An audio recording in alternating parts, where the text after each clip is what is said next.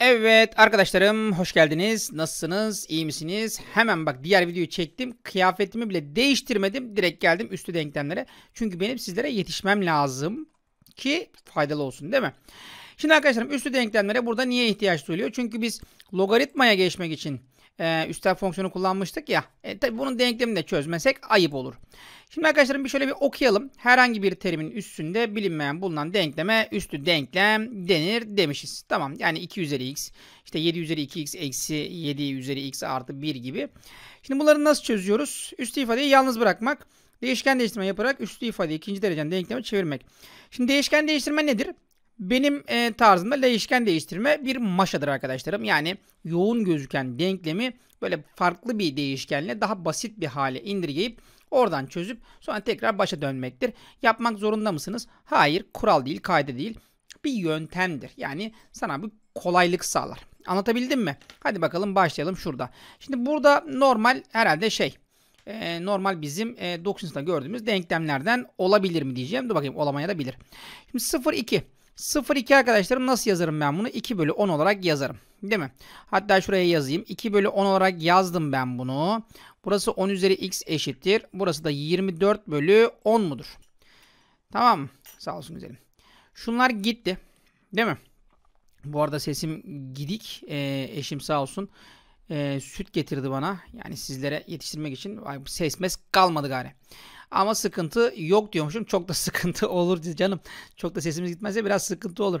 Neyse idareli kullanalım gene biz. Şimdi 10 üzeri x 12. Normalde 9'da ne yapardın? 10 üzeri x eşittir atıyorum 100 gelirdi. x'e 2 derdik. Ama artık biz logaritma bildiğimiz için diyoruz ki x eşittir logaritma 10 tabanında 12 diyoruz. Tabi bu logaritma 10 tabanını yazmazlar artık profesyonel matematikçiler, profesyonel öğrenciler. Burayı ne yaparlar? 12 yazı verirler. Bu da A seçeneği olmuş oluverir. B seçeneğine geldim. Ben üstü sayılarda tarzımdır. 5 üzeri x çarpı 5 üzeri 1 yazarım arkadaşlarım. Eşittir 7 üzeri x yazarım. Bizim derdimiz tasamız denklem çözmede bırakın üstü denklemi bütün denklemlerde x'ler bir tarafa toplansın. O zaman burayı ben 5 üzeri x'e bölerim. Buraya da 5 üzeri x'e bölerim. Bunlar gider arkadaşlarım. Burası 5 olur. Burası da Üstler aynıysa tabanları bölebilirim. Yani 7 bölü 5 yapabilirim. Üzerine x diyebilirim. X'i yalnız bırakalım. x eşittir. Logaritma 7 bölü 5 tabanında 5'ten başka bir şey değildir. Bunun başka bir değişik şekilleri var mıdır? E, yani çok zorlarsan yazılabilir tabi. Ama aynı sayıya denk gelir. Tamam mı? Anlaştık mı? Şimdi burada şey diyor. Ne diyor burada? Diyor ki işte sen a üzeri t değişken değiştirmesi yapabilirsin diyor. Tamam mı? Yani bu tamamen ihtiyaçtan hasıl olan bir şey. Yapmaya da bilirsin. Buradaki tercih tamamen sana ait. Şimdi ben bunu 25, 5, hadi 5'in kuvveti ya. Bunu 5 üzeri x'in karesi yazsam. Eksi. Bunu da arkadaşlarım 5 üzeri x çarpı 5 üzeri 1 yazsam. Eksi 14 yazsam eşittir 0. Sen bunun bu hale çarpanlarını ayırabilirsin. Ama gel diyor 5 üzeri x gördüğün yere a yaz diyor. Bakalım daha rahat gözükecek mi? a yazdım arkadaşlarım. a kare eksi 5a eksi 14 eşittir 0. Hakikaten daha rahat gözüktü değil mi? Yani hak vermek lazım. Çarpanları eksi 14 yapan toplamları eksi 5 yapan sayılar kimler? Eksi 2'ye artı 2. Burası da a'ya a. Çarpanlarına ayırdığım zaman e a eksi 7 çarpı a artı 2 eşittir 0. Buradan arkadaşlarım ya a eksi 7 0 eşittir ya da a artı 2 0 eşittir. Buradan a eşittir 7 a eşittir eksi 2. Gidip hemen çözüm kümesine 7 eksi 2 yazma. Bu değişken değiştirme yöntemini kullanıyorsun. A'la falan senin bir işin yok. Senin işin kimle? Senin işin x'le. Şimdi sen en başlarda şurada bir yerler neredeydi o? Ha 5 üzeri x'e a dedin mi? Dedin. O zaman geleceksin döneceksin. 5 üzeri x 7 veya 5 üzeri x eşittir eksi 2. Şimdi ben üstel fonksiyonun e, eksi olduğunu ben görmedim daha. Siz gördünüz mü? Görmediniz. O zaman bu gitti. Buradan bir boş küme geliyor. Buradan arkadaşlarım x'i yalnız bıraktığım zaman logaritma 5 tabanında 7 ile bunun çözüm kümesi işte logaritma 5 tabanında 7 yazarsınız. O da nerelerde? Örnek 2'de. İşte ÇK falan yazarız. Şöyle. Nerede o? Ha bak böyle bir şeyler yazabiliriz. Tamam mı? Çözüm kümesini yazmak için öyle yazabilirsiniz. Şimdi geldim buna. Ya diyor ki adam bana işte 7 üzeri x'e a de belli bir şey bu. Ama biraz düzenleyelim isterseniz bu denklemi. Şimdi bu 7 üzeri x eksi 5 tane. Bu 7 üzeri eksi x ya bunda 7 üzeri x'in eksi birinci kuvveti yazabilir miyiz? Yazabiliriz. Hatta 4'ü de bu tarafa atalım. Eksi 4 eşittir 0. Zaten denklem çözerken hep eşittir 0'lı çözün arkadaşlarım. Şimdi 7 üzeri x'e a dediğimi düşünelim. Daha rahat görme açısından başka herhangi bir sebebi yok. Hala söylüyorum. Eksi 5 tane. Burası a üzeri eksi 1 yaptı. a üzeri eksi 1 de 1 bölü a mı? Tabii ki de. Burası da eksi 4 eşittir 0 yaptı. Bak mis gibi çıkar bu. Payda eşleyelim arkadaşlarım. a kare eksi 5. Bununla bunu çarptım. Eksi 4a bölü a eşittir 0. E zaten malumunuz paydanın 0 olmayacağı belli. O zaman yukarısı olan a kare eksi 4a eksi 5 eşittir 0 olacak mı? Olacak. Sadece bir kesir geldi. icabına baktım. 5'e 1 eksiye artı. A'ya A. O zaman burası A eksi 5 çarpı A artı 1 eşittir 0. Demek ki burası sıfırmış, burası sıfırmış. Buranın sıfır olması için A'nın 5 olması lazım ya da A'nın eksi 1 olması lazım. Tabii ki biz A'la çalışmıyoruz tekrar. Tekrar söylüyor buradan zikir öğretmeniniz size. Biz X ile çalışıyoruz. O zaman geldik buraya 7 üzeri X eşittir 5 dedik veya 7 üzeri X eşittir eksi 1 dedik. Bu git buradan. Olmaz bu. Üstel fonksiyon negatif olmaz.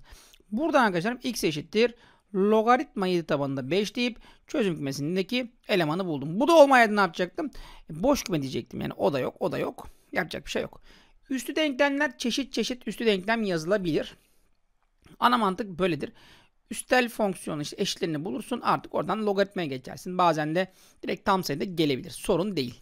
Evet şimdi arada bir süt içtim bir boğazımı bir dinlendireyim dedim. Allah Allah bu kalem sürekli bizi sıkıntı çıkarmasın. Heh. Şimdi logaritmalı denklemler arkadaşlarım. Üstlü denklemlerden yani bir farkı yok. Ne yapacağız? Yine denklemimizi kuracağız. Değişken değiştirme yapmamız gerekiyorsa değişken değiştirmeyi yapacağız. Yolumuza bakacağız. Yine değişken değiştirme yaptığımız zaman e, atıyorum A dediysek A'ya göre hareket etmeyeceğiz de X'e göre hareket edeceğiz. Tamam mı? Tabi bulduğumuz değerlerin de tanım kümesinde olmasına dikkat edeceğiz. Tanım kümesinde değilse e, ona bir hal çare bakacağız. Tamam mı? Şimdi logaritmalı denklem böyle çok denklem çözdük zaten. Yani logaritmanın başlangıçlarında çok çok böyle denklem çözdük. Nasıl yapıyorduk? 2'yi buraya yazıyorduk. 2 üzeri 5 eşittir diyorduk. 3x eksi 1 diyorduk. Burası 32 yapıyordu arkadaşlarım. Burası da 3x eksi 1 yapıyordu. 3x'in buradan 33 olduğunu çünkü 33'ten 1 çıkarsa 32 kalır. X'in de 11 olduğunu güzel bir şekilde buluyorduk. Bu zaten yaptığımız bir şey. Bunda sıkıntı yok. Bu rahat. Kolay. Geldik. Bunda da bir sıkıntı yok aslında. Ama dikkat etmemiz gereken yerler var. Nedir onlar? Hemen bakalım. Şimdi biz x artı 1'in üzerine 2'yi yazacağız. Evet. Yani x artı 1'in karesi eşittir x kare artı 7 yazacağız mı? Yazacağız. Karesini alalım arkadaşlarım. Birincinin karesi birinci ile ikincinin çarpımının katı. İkincinin karesi e, ikincinin karesi doğru.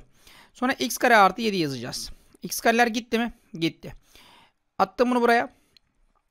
2x eşittir 6, x eşittir 3. Şimdi 3 sıkıntı mı sıkıntı değil mi? Aslında biraz önce de bakmamız lazım. 11. Bakacaksın işte paydayı, şey paydayı tabanı negatif yapacak mı? 1 yapacak mı? Yapmıyor. İçerisi negatif yapıyor mu? Yapmıyor. Demek ki senin çözüm kümen 3'müş. Yani daha doğrusu ÇK şöyle 3 yazman yeterliymiş. Tamam mı? Anlaştık mı? Gel bakalım buna. A eksi B 48 demiş. İlla ki bir yerlerde bir e, nasıl diyeyim bir işe yarayacak. Evet ama he, bu ne? Logaritma kitabında A logaritma kitabında ve dayanamıyorum A eksi B dediği için arkadaşlarım logaritma 2 tabanında A bölü B yazıyorum. Sıkıntı var mı? Bence yok. Eşittir 2 dedim. Buradan A bölü B arkadaşlarım 2 üzeri 2'den 4 yaptı. O zaman A sayısına da 4B dedim. A'ya 4B yazdığımız zaman da 4B eksi B'de 48 olacaksa buradan 3B eşittir 48 yapacaksa B'ye de 16 demiş bulundum artık ben. B 16 ise 16 ile 4 çarparsam A da 64 yapacak. 64, 74, 80 mi yapıyor? 80 yapıyor değil mi? A artı B toplamı da 80. Yani logaritma olması bizim için çok önemli bir fark değil aslında. Dikkat. Bak buna dikkat edeceksin. Buna niye dikkat edeceksin? Dikkat edeceksin derken yani düşüneceksin. 2, 4, 8, 16. Hmm, bunların hepsi 2 olaydı iyiydi. Şimdi ama değil. E, ne yapacağız? E, o zaman şöyle yapalım. İsterseniz 16'ları 8'i 4'ü 2'ye benzetirsiniz. İsterseniz e, 2'yi 4'ü 8'i 16'ya benzetirsiniz. Tercih tamamen size ait. Ne yapalım? E, isterseniz köklerle uğraşmamak için Gel bunun üzerine bir tane 4 yazalım ama yazamam onun üzerine 4. Şöyle 4 bölü 4 yazmam lazım ki şimdi bir tanesini bunun üzerine bir tanesini diğerinin üzerine atayım. Niye 4? Çünkü 16'ya benzeteceğim. Şuraya x yazdım. Artı gel bunu da 16'ya benzeteyim diyecektim. Kine 8 nasıl benzeteceğim? 8'i benzetemem ki. Ya benzetirim de çok zorlanırım ya. Neyse. Boş verin vazgeçtim bundan. Bundan geç bunu. Ya yaparım da şu an yapmayacağım. Şimdi ne yapalım o zaman? 16'ları 8'leri 4'leri e, 2'ye benzetelim. Şimdi logaritma 2 tabanında x'i yazalım. Artı. Şimdi ben bunu logaritma 2 tabanında x yazsam. Bu 2 üzeri 2 olduğu için arkadaşlarım bu 2 başa gelecek. 1 bölü 2 olarak geçecek. Değil mi? Tamam. Artı. Bunu da aynı mantıkla 1 bölü 3 tane logaritma 2 tabanında x yazalım. Çünkü 2 üzeri 3. Bu da 2 üzeri 4 olduğu için o da 1 bölü 4 tabanında logarit 1 bölü 4 çarpı logaritma 2 tabanında x eşittir 25 bölü 4 yazabilirsiniz. Hocam burada a falan diyelim mi? Gerek yok bence. Çünkü bak kabak gibi belli oluyor. Logaritma 2 tabanında x'ler hepsi zaten birbirinin aynısı. O zaman ben burada logaritma 2 tabanında x parantezine alınca bu vatandaşı ne yapacak? 1 artı 1 bölü 2 artı 1 bölü 3 artı 1 bölü 4 ile olay kapanacak. Dağılın. 25 bölü 4. Değil mi? Kim toplayacak bunu? Bunu hangi babayı toplayacak şimdi? Kaçta toplayalım? 12'de mi eşitleyelim? Şimdi bu 12 yaptı. Burası 6 yaptı. Burası 4 yaptı. Burası 1 yaptı. Bölü 12 mi oldu? Evet. Ee, tane logaritma 2 tabanında x eşittir 25 bölü 4. Da kesin zaten 25 bölü 4 gelecek herhalde. Toparlayalım. Şöyle 10 10 10 10 şurası 3 olacak değil mi? Burası 3 olsun bizim olsun. Şöyle 10 25 çünkü götüremeyeceğim bunları belli ki 3 olacak orası. İşlem hatası yapmış zaten burası 3. Demek ki arkadaşlar logaritma 2 tabanında x eşittir 3. O zaman x eşittir 2 üzeri 3'ten 8 gibi bir değer gelecek ki bu da bizim kaçıncı sorumuz oldu bir kontrol edelim. Örnek 7 arkadaşlarım. 8 gelmese yandık. Bir daha bakarız. Sorun değil. Bir daha gel bakalım gel bakalım. Şimdi ne yapmış? Bu artılara falan bir şey yapamıyorsunuz ha. Onlar öyle kalıyor. 3 tabanı ya. Hemen bak 3 tabanı 3 tabanı art demiş. O zaman ben diyeceğim ki logaritma 3 tabanında dağıtmam lazım. X parantezinde 2x artı 3 diyeceğim. Eşittir 3 diyeceğim. Buradan arkadaşlarım bu x çarpı 2x artı 3'ün kendisi 27 olacak. Burada deneme yanılma yapma kardeşim. Dağıt bunu buradan. 2x kare artı 3x 27'yi gönder bu tarafa. Eksi 27 eşittir 0. Sıkıntı yok değil mi? Şimdi bir nefeslenelim ve bir soluk soluğa kaldım. Şimdi bu ne? 2x'e x. Değil mi? Bu ne? 9'a 3. Böyle yapsam böyle yapsam olmayacak. Şöyle artı yapayım eksi yapayım. Şöyle yapacağım. 9x eksi 6x toplam buraya verdim verdi. O zaman çaprazlama girişiyorum buna. 2x artı 9 arkadaşım çarpı x eksi 3 eşittir 0. Buradan ya 2x artı 9 eşittir 0 tuzak var kaç? Kaç tuzak var ya da x eksi 3 eşittir 0. Arkadaşlar buradan x eşittir karşı attım eksi 9 bölü 2. Vallahi bunu bak de, şeye alar, alırsanız çözüm kümesine alırsanız gidersiniz. Çünkü bak burada x içeride ya. Burası negatif oluyor. Negatif olmayacak arkadaşlar. Bu olmaz. Bu olmaz. Bu gitti. x eşittir 3. 3 burayı negatif yapıyor mu? Bak yanlış bir yapmıyor. Yanlış bir cümle kurmayın kendinize. Bak ben de size kurmuyorum. Negatif sayı olmayacak demiyorum. O aldığın sayı içeriği negatif yapmayacak diyorum. Tamam mı? Anlatabildim mi? Belki de bu örnek o örneğin ta kendisi. Bakalım. Şimdi logaritma 10 tabanında 5 hmm, eksi x bölü x artı 6 yazmam lazım. Yani 5 eksi x bölü x artı 6 eşittir eksi 1. O zaman benim buradaki 5 eksi x bölü x artı 6'm ne yapacak arkadaşlarım? Tabanı 10 olduğu için 10 üzeri eksi 1'den 1 bölü 10 yapacak. İşlerle dışları çarpıştıralım. Ana gitti bu? Aba Bismillahirrahmanirrahim. Ne oldu öyle? Nasıl gitti öyle? Yapmaya kalksam yapamam valla. Bunları bir çarpalım arkadaşlarım. Burası 10 eksi yok 10 eksi elim ayağıma dolaştı ya. 10 kere 5 50 yazacağım değil mi? 10 kere 5 50 eksi 10x eşittir x artı 6 mı? Evet bu nasıl sayı gelecek böyle. Neyse bunu bu tarafa atalım arkadaşlarım. 44. Aa güzelmiş. Eşittir bunu bu tarafa attım. 11x. O zaman x eşittir 4 mü? 4. Bakalım 4 başımıza bir belalar açacak mı? 4 yazdım arkadaşım. Logaritma 1. Tanımlı mı? Tanımlı. Sıkıntı yok. 4 yazdım. Tanımlı mı? Tanımlı. Sorun yok. Yani hep böyle öğrenci şöyle kodluyor. Orada diyor ki şey olmayacak diyor. Eksi olmayacak diyor. Yani x eksi olmayacak zannediyor. X eksi olabilir. O sayı içeriği eksi yapmayacak. Tamam mı? Şimdi logaritma 5 tabanında x, logaritma x tabanında 125. 125 ile 5'in bir bağlantısı var belli ki. Yani mübarekler buraya bir 2 yazamadınız mı diyecektim ben. He hocam. Masum hocam 2 yazı verin şuraya ya. İşin esprisi tabii bir tarafa. Bu 2. Değil mi? Şimdi bak. Logaritma 5 tabanında x ile logaritma x tabanında 125 birbirine benziyor. Azıcık böyle ucundan. Şunu 5 üzeri 3 yazsam 3'ü de başa atsam. Değil mi? Yani alsam ben bunu buraya.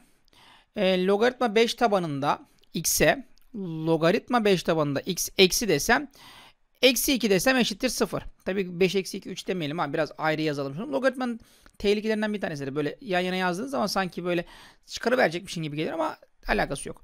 Şimdi ben buna x desem x demeyeyim a diyeyim buna. a eksi 3 tane buna ne diyeceğimi artık biliyorsun değil mi? Bunların yerleri değiştirirse 1 bölü a diyeceğimi biliyorsun. Eksi 2 eşittir 0. İse payda eşitliyorum a kare eksi 2a eksi 3 bölü a eşittir 0. O zaman buradan yukarısı 0 olmalı aşağısının 0 olduğu daha görülmemiştir. O zaman 3'e 1 eksiye artı burası a'ya a çarpanlarına ayrılmış şekli a eksi 3 çarpı a artı 1 eşittir 0 arkadaşlarım. Demek ki buradan a eşittir 3 oluyor ve a eşittir eksi 1 mi oluyor? Aa bak şimdi. Eksi 1 olan kim? Ee, 3 olan kim daha doğrusu? Logaritma 5 tabanında x eşittir 3 olur mu? Olur. Olur. Sıkıntı yok. Logaritma 3 tabanında x eşittir eksi 1 olur mu? Olmaz. Benim öğrencilere diyorum bile olmaz. Ya arkadaş niye olmasın? Yapmayın gözünüzü seveyim. Niye olmayacakmış? Yani burasının sonucu niye eksi olmayacakmış? İçerisi eksi olmaz diyorum. Ha, ha yapıyorlar sonra. Ya uyanık olun. x eşittir 5 üzeri 3'ten 125. x eşittir 3 üzeri eksi 1'den 1 bölü 3. 125 ile 1 bölü 3 çarpalım. 1 bölü 3 değil ya. 5 burası. 1 bölü 5. Heh, 125 ile 1 bölü 5 çarpalım. 25 falan ne yalan söyleyeyim. Buradaki benim cevaba gözüm kaydı. Cevaplar altta, altta olunca benim gözüm kayıyor. Sizin de gözünüz kayıyordur illaki değil mi? Örnek 11'deyim. Bir baksana buna. Yani bir yapamadıysan, öncekini yapamadıysan bir buna baksana dinlediysen. Bir yap. Geliyorum ben. Buralardayım. Yalnız bırakmıyorum seni. Nasıl yaptın mı? Şöyle ben son sütümü yudumladım. Yani senin karşında içmeyeyim dedim canım. Yani canımı çeker bir şey olur. Şimdi logaritma 3 tabanında x logaritma x tabanında 9. Sanki hocam söyledin de canım çekmedi der gibisin. Kızma vallahi seslerimi yumuşatmam lazım arkadaşım. Kızma bana. Logaritma 3 tabanında x logaritma x tabanında 9. Şimdi bak yani bunların yerleri değilse ve 9 da 3'e benzese fena olmayacak gibi. O zaman biraz benzetelim. 3'ün karesi olacak. Kareyi başa atacağım.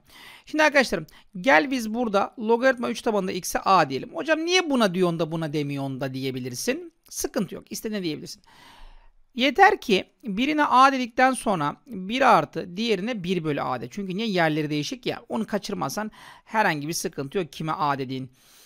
Ee, ne yapalım? Payda eşitleyelim. Şimdi a eşittir. a artı 2 bölü a diyelim. Değil mi? İlk önce bununla paylaşalım. Sonra içler dışlar çarpımı yapalım. Diyelim ki a kare eşittir. a artı 2 diyelim. Atalım epicini bu tarafa. a kare eksi a eksi 2 eşittir 0 diyelim. Tamam mı?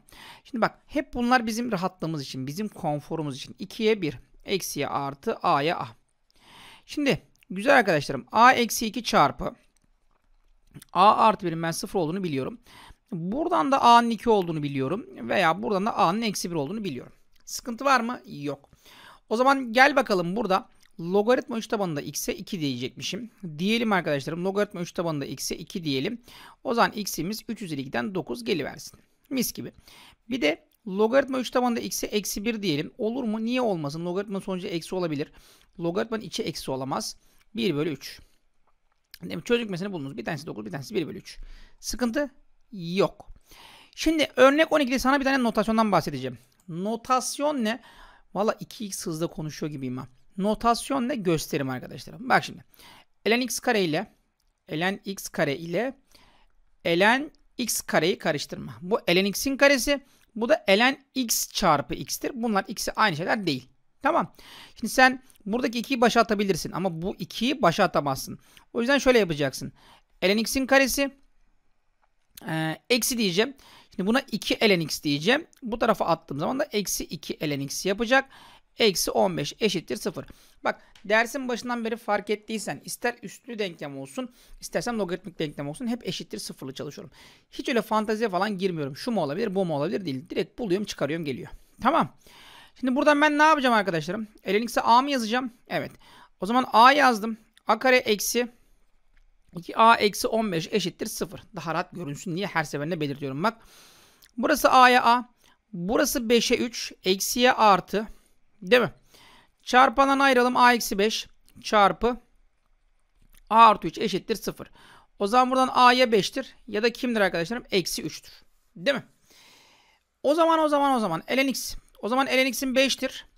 Veya lnx'im eksi 3'tür. Olur mu? Olur. Bak her seferinde olur diyorum.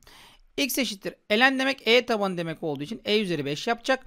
ln demek e tabanı olduğu için e üzeri eksi 3 yapacak. Gördüğünüz her farklı kavramda eski bilgileri çağıracaksınız. ln logaritma e tabanı. Ha demek ki bunun tabanı e. O zaman e üzeri 5 olacak diyeceksiniz. Tamam mı? Sıkıntı var mı? Geldim buna. Ee, şimdi bak logaritma a tabanında 4 demiş. Değil mi? 1 bölü 2 demiş. Ya 1 bölü 2 ne işi var oralarda?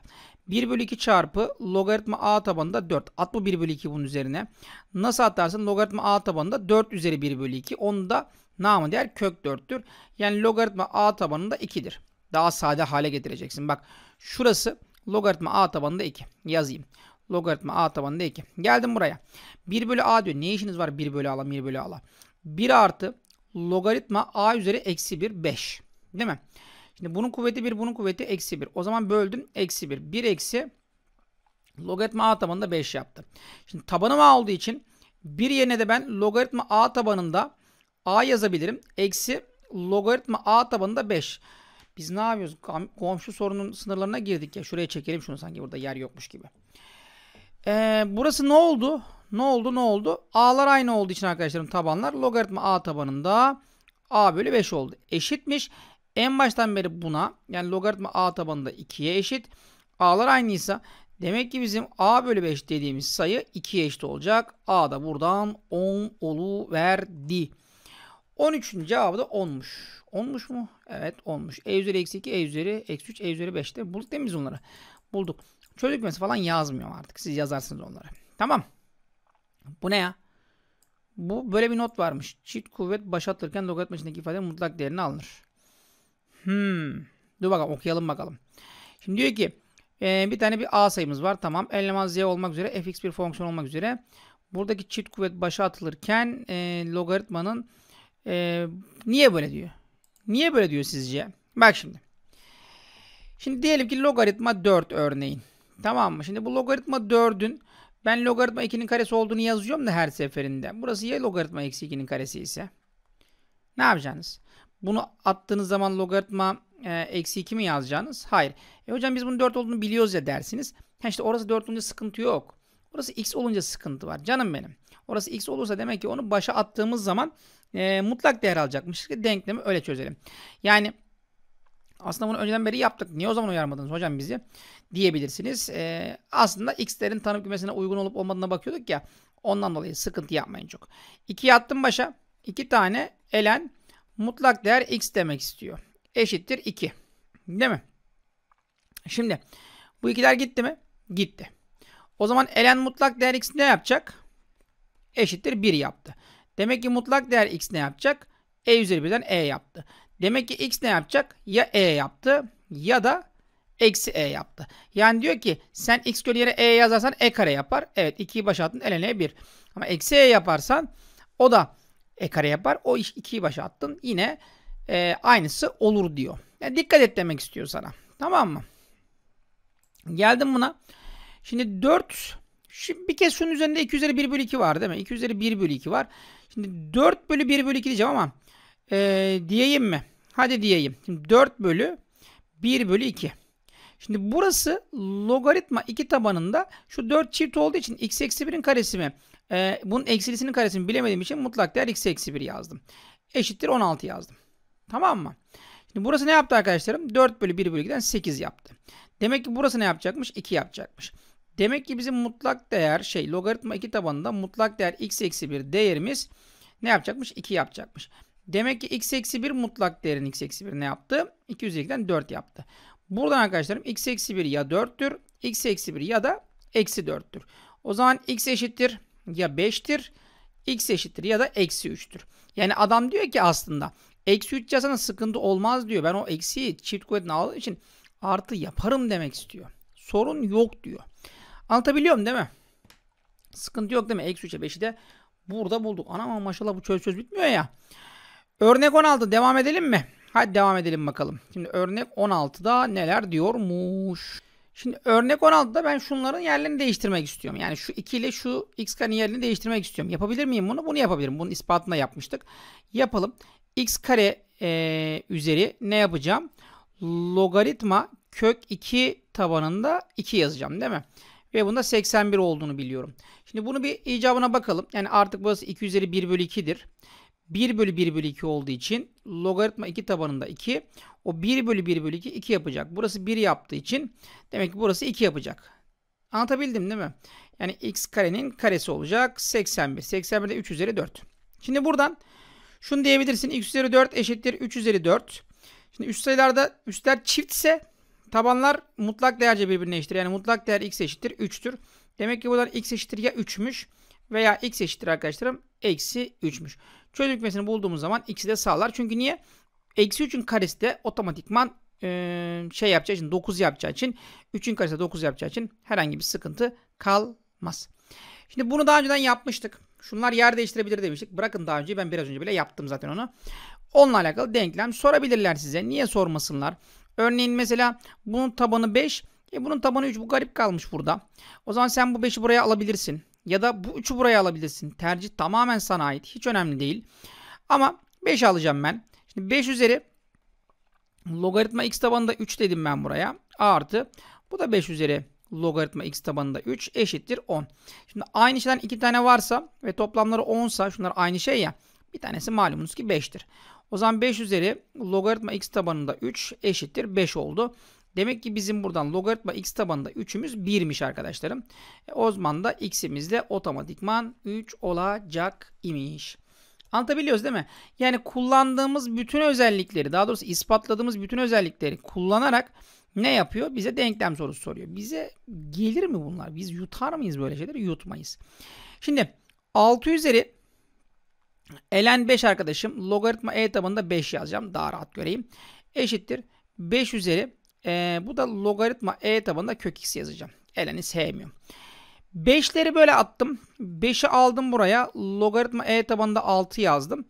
Eşittir 5 üzeri logaritma e tabanında kök x yazdım.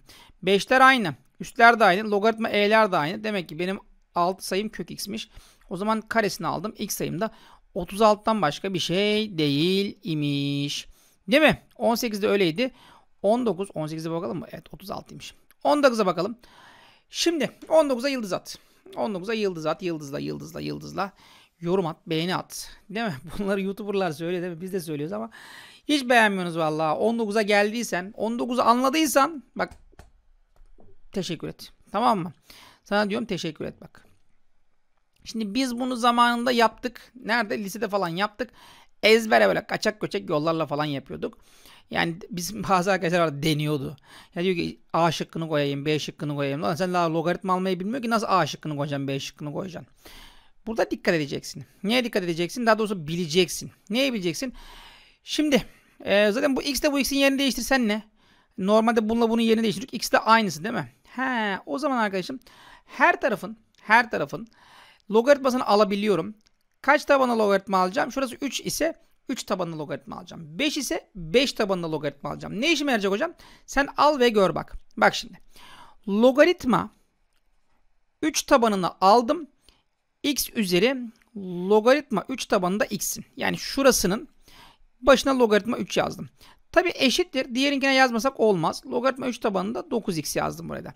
Bir sıkıntı yok bunda. Tamam mı? Sonra bak bu x'in üzerine kuvvet mi? Logaritma 3 tabanında x. Onu başa attım arkadaşlarım. Logaritma 3 tabanında x çarpı logaritma 3 tabanında x dedim. Şimdi bu da çarpım durumunda olduğu için logaritma 3 tabanında 9 artı logaritma 3 tabanında x dedim burada.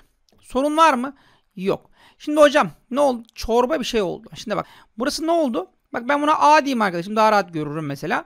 Burası a kare oldu arkadaşım. Burası A oldu. Burası 2 oldu. At bunu bu tarafa. A kare eksi A eksi 2 eşittir 0 oldu. Al sana mis gibi bir denklem. A'ya A. 2'ye 1. Eksiye artı. Demek ki çarpanlarına ayrılmış hali A eksi 2 çarpı A artı 1 eşittir 0. Demek ki buradan A eşittir 2 veya A eşittir eksi 1. Sıkıntı var mı? Yok. Tamam. Ben kime A dedim ki? Ha, logaritma 3 tabanında x A dedim. O zaman logaritma 3 tabanında x eşittir 2 veya logaritma 3 tabanında x eşittir eksi 1.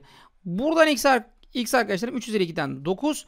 Buradan x 3 üzeri eksi 1'den 1 bölü 3. Neyini soruyor bunun? Çözüm kümesini soruyor. 9 ile 1 bölü 3'ü buldum ben ve geldim buraya.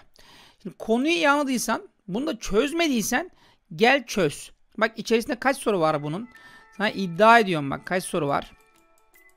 12 tane soru var. 12 tane. Belki 12.yi de son çözdüğüm soruya göre yap.